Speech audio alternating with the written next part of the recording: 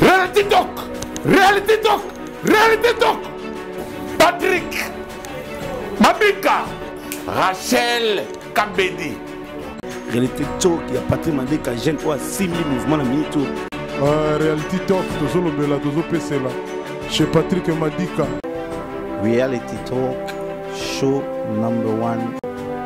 Reality talk show.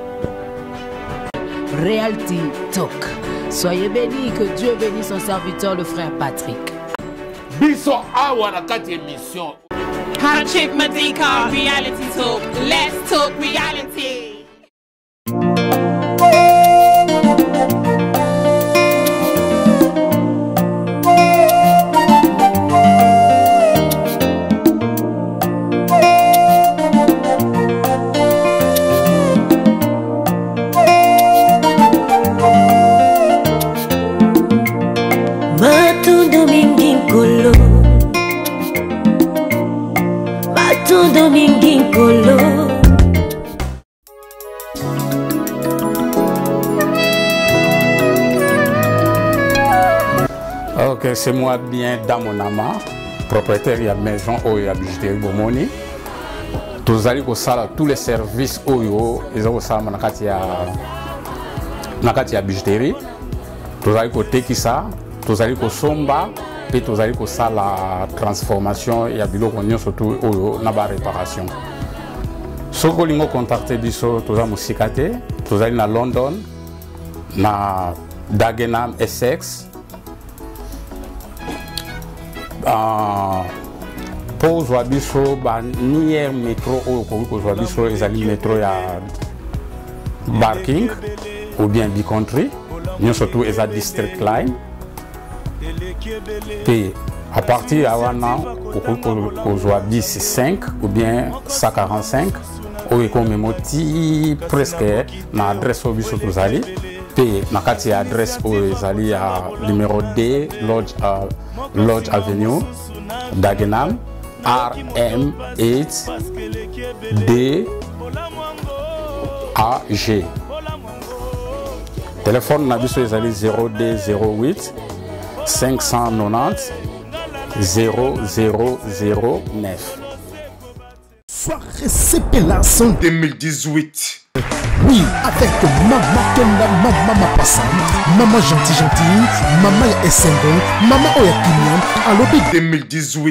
Soiree sepelasa esangani elongo na masolo ya kitoko oyo babengi Mother's Day.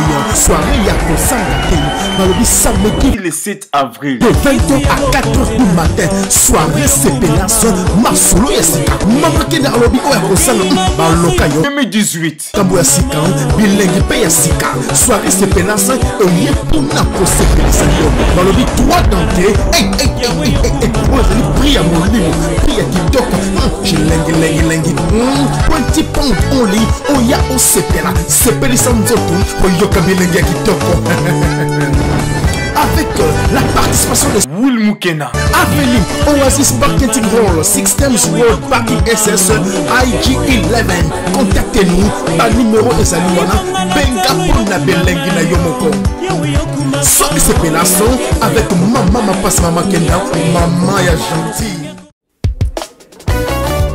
mbote bapapa bamama naye kopesa bino mbote na nkombo na yesu na nkombo na nga ser eveline biso tozali bamembre ya, ya cross vision church esika oyo mm, paster john ngonza aza kokambadanto deny my lord but it was not peter's problem It was a God's prophecy that was supposed to come to pass. Bon, ça fait que nous avons ressemblé à Awa, en tout cas, nous avons salé minene pour na bomoi nanga.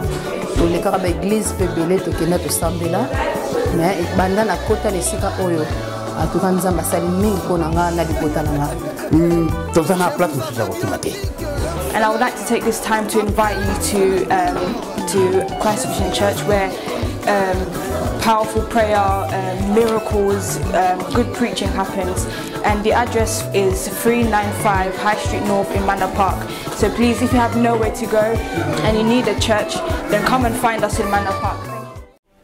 record wana avant l'an 2006 ezalaki na facilité bako delete yango noki ezalaki après ba 5 ans avant l'an 2006 mm. mais après l'an 2006 record wana bakokipa yango pendant combien d'années patrick tu penses combien, euh... pendant 100 ans hey!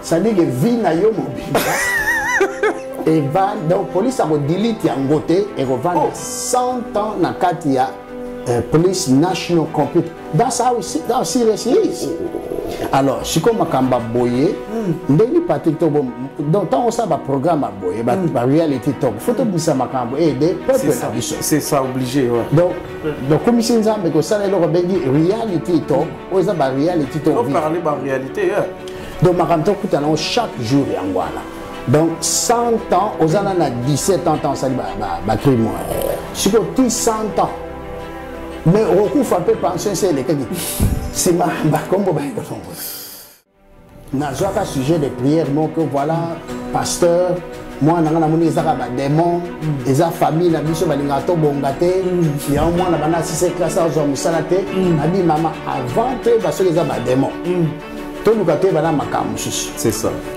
abi aza na ngabi ngabi aza na biblia certificate oyo aza na ngabi yela ngango mm. ntango natangi yango mm. namoni ke mwana asalaki oyo oyo ah. oyo bakamba ata 7 ata 8 ndebi mama mm. jusque là les démons ne sont pas encore engagé awa ezali démon ya liboso yali bizaleli oyo mwana azalaki na yango avant koma na age oyo c'est ça donc eloko ya liboso fo toyeba ke mm. the young people fo bayeba ke mm. bafoto to osala lelo ekoya kohonte biso tomorrow mm. so let us be very very careful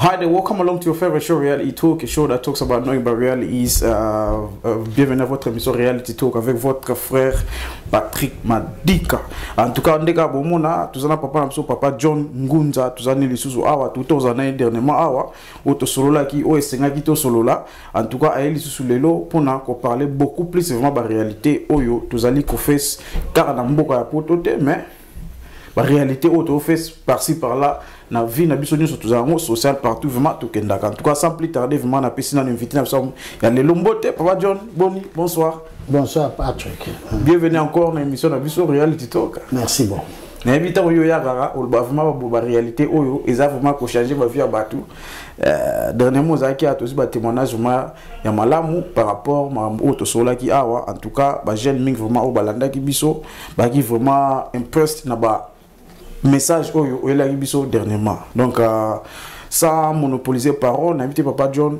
lelo toye tosola nini merci beaucoup patrick euh, eloko ya liboso na ngai bake napesi nzambe lokumu mpo tosusu sante akutana lelo amen napesi yo mpe merci mingi na programme ya reality talk mpo mm.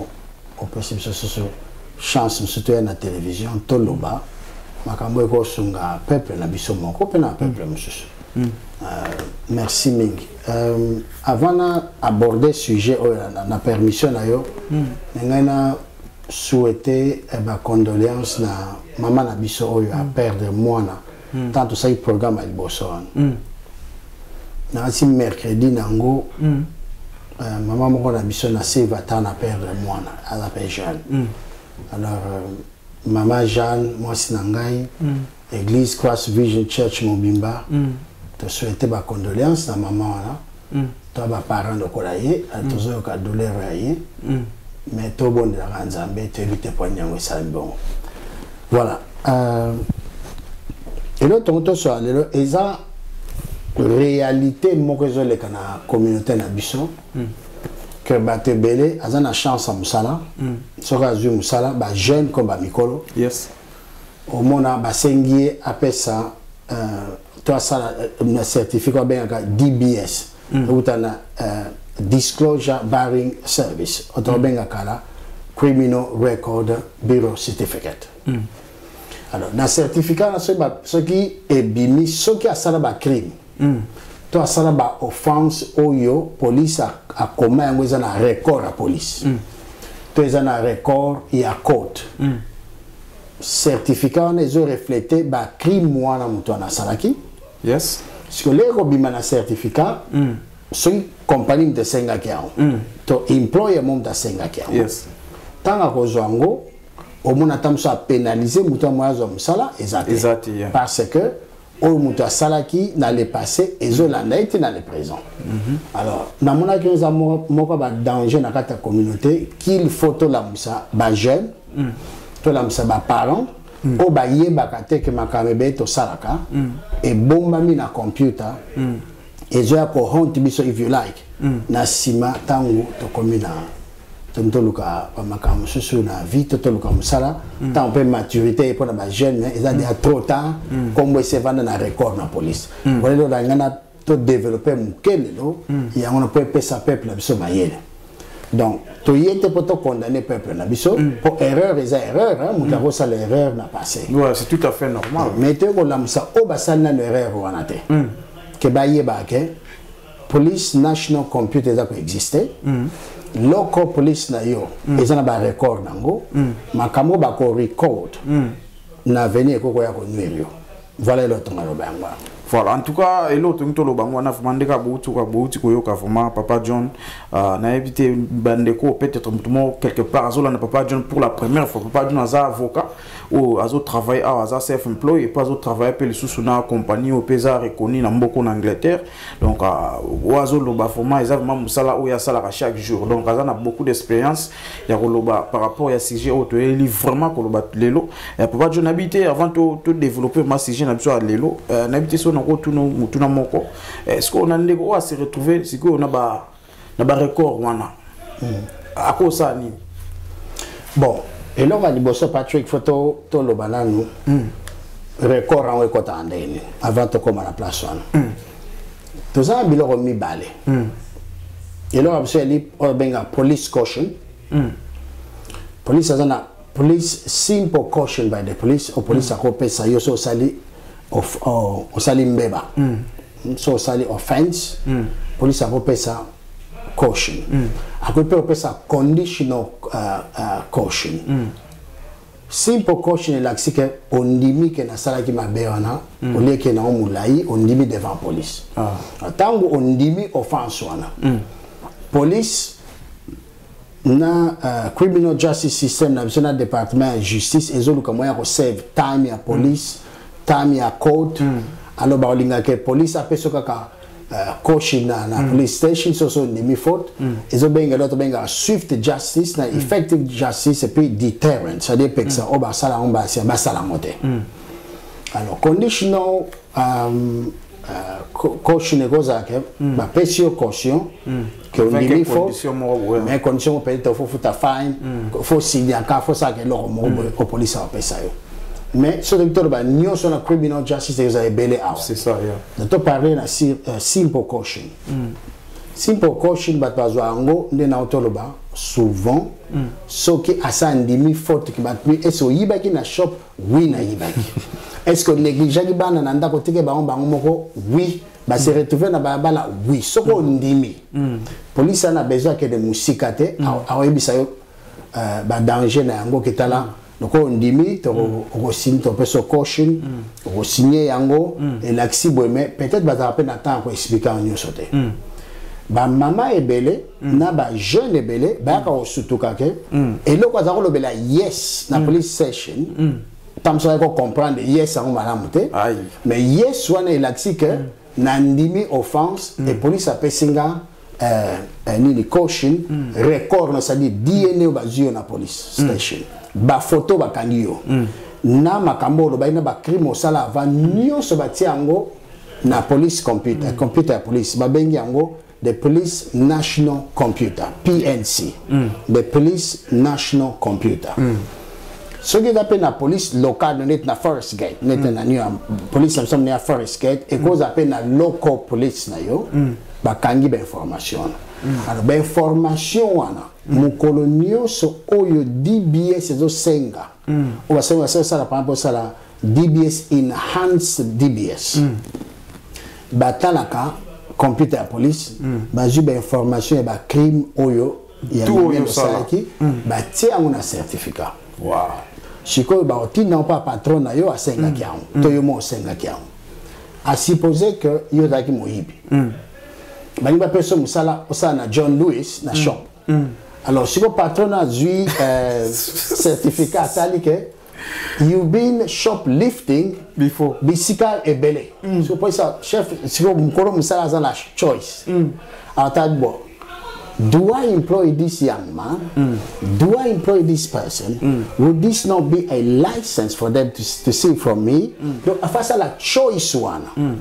donc polisi alobaka teke kozwa moto na mosala te mm. tozwa ye na mosala mais polisi mm. akopesa na dbs bapesa information sikoyo patron wana moto alingi azwa na mosala moto akodeside mm. soki na makambo atangi mm. alingi kozwa ye to alingi azwa yo te alors tuna nga question ke soki motana na likambo akosala nini eza makambo ebele ya ndenge na ndenge moye toyeba nyonso na tv eza te eza te yes donc soki moto alingi ayeba nyonso fo acontacte biso mm. contacte patrick mm. Eh, information ekomela nga to contacte nga directement mm.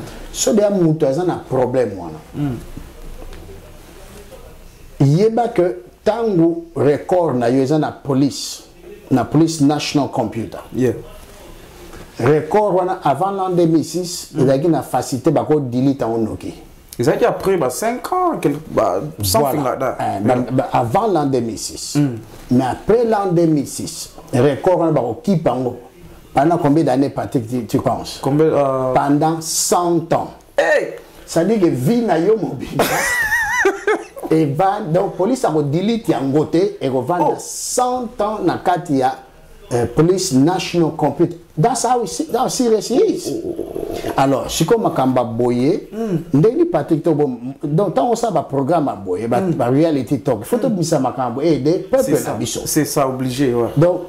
nakomisi nzambe kosala eloko abengi reality talk mm. oyo eza bareality toparle barealité donc makambo tokuta nango chaque jour yango wana donc 100 ans oza na na 17 ans ntango osali bacrime wana sikoyo ti 100 ans mais okokufa mpe pension esi elekaki nsima bakombo baye kolongola voilà mm. soki oza na likambo wana mm. il faut yeba boye patrick il y a pas un appeal mm. appeal mm. procédure ya appeal mpenza eza te na likambo ya police national computer ya record donc ata ozwi basolicita ndenge nini donc mais mwa baexception yani soki mm. cote moto akataki yango yeah.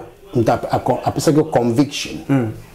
polisi akolongola yango te mm. il faut ozonga susu na cote wana faut contacte biso balawyers mpona kotala ndenge tosala mais mm. right of appeal mpena eza te par exemple batiaki kombono na erreur mm. batia na police national computer mais yo osalaki bafoto wana te identité na yo bayibaki yango la mm. on a une procédure ya kolanda mpona tolongola ya koprouve yango ke ya koprouve ke ezalaki ye te mm. mais soki yo moto osalaki yango eza mm. très difficile kolongola yango mais soki police moto apesaki wana cote soki mm. police moto apesaki yo conviction il faut to eza na département moto bayango acro mais naozonga nsima na acro wana mm.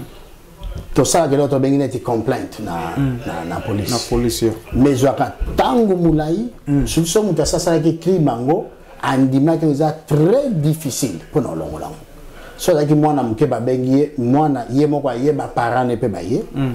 o signer please caution mm. ba ba expliquer ndenge yango ezali alors mm. ekozonga après le réaliser makambo salaki mm. eza très difficile ko longa mais faut mona ka biso na loya pona makambo wana donc eza au lieu to koma place wana mm. yango no moni tozwa na ba programme oyo mm. ozo sala pona to aider euh, ba ndeko na biso parce que to mi kosa te ba jeune do not deceive yourself mm. do not be deceived mm. a man Ribs, what eaza salt. salt. Okay? Mm. oko bible eh, livre ya galate chapitre 6 verset 7 eyebisi biso ke moto mm. akobukaka kaka oyo ye akonaki so okonaki violence na jeunesse na yo mm. so okonaki moyibi mm. so okonaki baviolence sexuelle mm. so okonaki mobulu mingi mobulu wana ekolanda yo mm. na certificat ya bbs ntango azoluka mosala voilà peu près voilà près près nasi bandeko balanda biso baresponsable balanda biso na bandako vraiment nasir papa john chaque fois ya yaka awa vraiment nasir bamessage obie makambo tosolaka awa eza vraiment beaucoup plus koaide mpe kochange bavie ya bato ebele baolanda biso eh, nayebi te papa john sikoyo tozonga mwa moke eh, na bajeune beaucoup plus bateenager oyo bazosala babiloko moko oyo bango moko bazoyeba te un jour ekoyela bango ndenge nini mpo omoni moto oyo deja akomi deja matire akomi ocomprendre makambo mwa moke malgré ata azocomprendre yango nyonso te akoyebake no a ah, koyiba eza mabe nakosala boye te nakodrive te sans permis nakosala boye te nakosala boye te sikoyo bajeune oyo oyo tobengaka careless ayebi na eloko azosala eza mabe mais atie kibogenese na ye azomona kaka naza maina so bakangi nga bakotika nga na ke babengi papa oubien mama parent ye ale batiki nga na ke nayebi te papa john tobeta na sete mwa moke tovanda mwa moke kote wana ba teenager oyebi patrick mm. merci mpo na question wana mm. eloko ya liboso toza nango erreur hein? mm. yali nde bato bako i've got right in this country mm. this is my right to do this mm. mais mingi bayebaka te you go right you also go responsibilities yes okay jeunesse la période moko i was a young person once tozalaki ba jeune age na bino ya ba age ya mike mm. eza na makambo yango epusaka mm. yango namoni bible eyebisi biso ke mm. na proverbe 22 mm. un ya 6 ke train mwana na yo mm. na nzela ya malamu ata so akomi mokolo mm. akobunga so nzela wana te yes. nazoloba teke baparent baza mabe bazotrain bana te naza parent mm. mais ezosenga mpena tosala effort ya kotrain mwana avant ayeba biloko wana akɔta na baerreur soki akoti na nzela moko ya tout droit mm. en tout cas akobima yango te te mais quelquefois en tout cas excusez nga 100% mais ko ça papa John en tout cas excusez nga moi moke na radio parole côté wana euh obi ko ko ko éduquer moi na ndako za pe différent na omoni ko chweni moi na différent na ndako yo oyebi ke no mwana na ndako ozolakisa nzela ba église ozoteya ye boye mais bato mpo mpe bana basangana na bango libanda peut-être na baekole euh, na balabala bamaster na bango mosusu wana mpe quelque part mpe soki euh, mwana soki abebi quelque part ezalaka na ndako te euh, justement hmm. oza na raison na epa ozokende hmm. parent akosala effort ateyi mwana me mwana ye moko ayoki te mm. yango omoni baprogramme oyo ezosala mm. ezoloba tozolobela bajeune mbala moko tolobela mpe baparent c'est-à-dire que mm. parent ntango mwana aza na moins de 18 ans to ana responsabilité mingi par exemple akoyeba na l'heure mwana aza wapi mwana asisi classe na 15 heure mais ti 19 heure akomi na na ndako te aza wapi ese papa ayebi mais toke na main question otunaki mm. bano bazoyoka te mm. na kobeg bango awa na télévision ke mm. o oh, papa alobaki na ndako mm. no teacher alobi na ekole mm. no pasteur alobi no na église okenda mm. no nga nazoloba na programme ya na bino patrick mm. tozoloba ke please be careful mm. na makambo ozosala mpo makambo ozosala ekoya kohaunt you mm. one day and you live to regret it omoni 100 ans oza na police record na eza na police national computer eza likambo ke te eh. omoni osali makambo ya ntango oza na 16 mm. mais okomi na 25 ans okomi sikoyo motu mm. obandi sikoyo koreflechir bien osisi mm. classe mm. oke okay, koluka mosala mm. nyonso osalaki banda obimela yo nazwaka sujet de prière moko voilà mm. pasteur mwana nga namoni ezaka ba démon mm. eza famille na biso balingaka tobonga te mm. yango mwana banda asise classe azwa mosala te mm. nabi mama avant toyeba soki eza ba démon mm. toluka toyeba na makambo mosusu c'est ça abi aza na ngabi ngabi asa na dbs certificate oyo aza na ngabi yela ngango ntango mm. natangi yango mm. namoni ke mwana asalaki oyo oyo oyo bakamba ata 7 ata 8 ndebi mama hmm. jusque là les démons ne sont pas encore engagé awa ezali démon ya liboso yali bizaleli o mwana azalaki na yango avant koma na age oyo c'est ça donc eloko ya liboso fo toyeba ke hmm. the young people fo bayeba ke hmm. bafoto tokosala lelo ekoya kohonte biso tomorrow so let us be very very Careful. Voilà conseil na pesa. Ah. Mwana oyo quelque part tozonga na question liboso na tunaki yo. Euh, ndeko moko quelque part lelo asali ba effort na ye asisi ba étude na ye asali oyo efala asala azwi ba training na ye tout tout tout tout ah, eza vraiment en place mais peut-être 10 ans passé 5 ans passé peut-être 15 ans mpe aa na record moko boye oyo eza ko ezo ko bloque ye yeah. ko evode ye from akoma na carrière obe azwa mosala oyo oyo aye atangeli na bauniversité papa john nayebi te moto aza na citation wana ndenge uti opesa exemple awa ya, ya para moko auta oloba mpo na mwana na ye sikoyo na minute wana ndeko wana akosala nini eza question ya monene izineke tokosala nini na place wana hmm. so déjà erreur esi esalamaki hmm. jeune asa akɔta to mokolo moko akɔta na makambo wana hmm. il faut ya komona biso mpo nyonso moye toloba eza te moni ka na ka eza na makambo na yango nazwaka ka moko mm. mama asali erreur mwa moke akotika bana epai ya papa mm. bana base retrouve na balabala oh.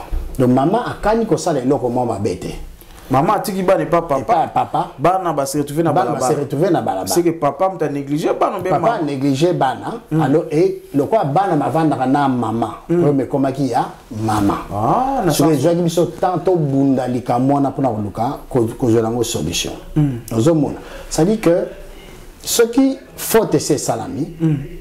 e procédure eza kaka ke tosala complainte na police hmm. so eza police basalaki yango so cote moto ekataka conviction wana fo tozonga na procédure ya cote eza procédure mo molai compliqué parce que mm. droit pene epesi apile ya bien te na place wana wow. donc osenga makambo ebele osenga ndenge nini moto achangea vie na ye mm. ndenge nini akoma kosala malamu mm. akontinue so na makambo na bomwana te mm. ekokoma argument ke tala azalaki jeune asalaka eloko mai ta lelo asa achangea vie na ye mm. tokoki koutilize yango mm. epuis eloko mo patrik ndenge naloba place nali ke avant osenga avant que na DBS mm.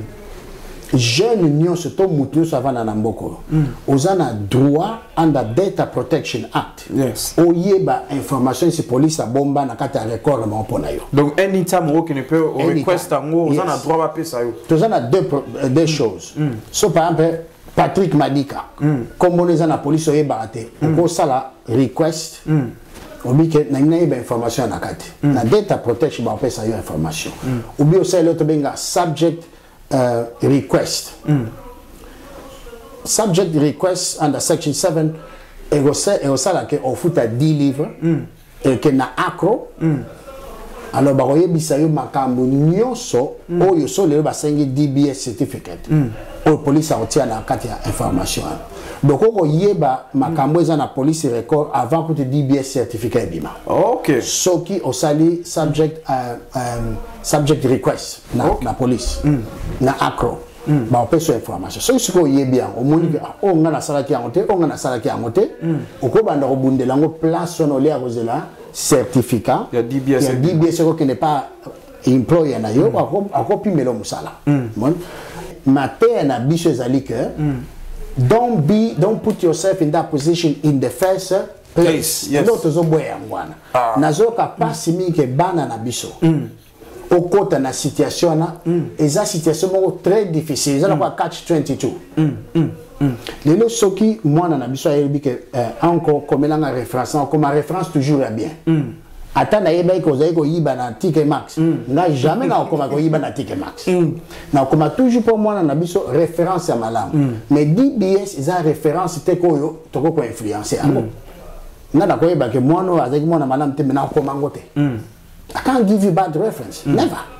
Mais DBS ekobimisa kaka oyo police national computer ezobomba. Mm. Donc mateya malamu ya liqueur so moto na difficulté mm. tokomeka kosunga otala esalamaka ndenge nini mm. mpona koyede ye mm. mais eloko ya malamu yalike mm. bana na biso mm. biso mo bamikolo mm. tomikosa mpo na badroit ya mboka te mais mm. tokɔta na makambo mabe te in the first place mpo eya kolanda biso na nsima te ya na linke please stop it kokota na biloko wana te kokota na biloko wana te elobi papa john je crois moto oyo nyonso aza na question akotuna papa john obe te eloko moko boza sire nango te oza na kokes obe nini en tout cas badeta ya papa john eleka wana bobengi ye so bozwi ye te bokocontacte biso comme d'habitude toja bino na contact na papa john oyo aza avocat monene na mboka oyo atravara uh, ah, déjà ana expérience ebele na makambo azoloba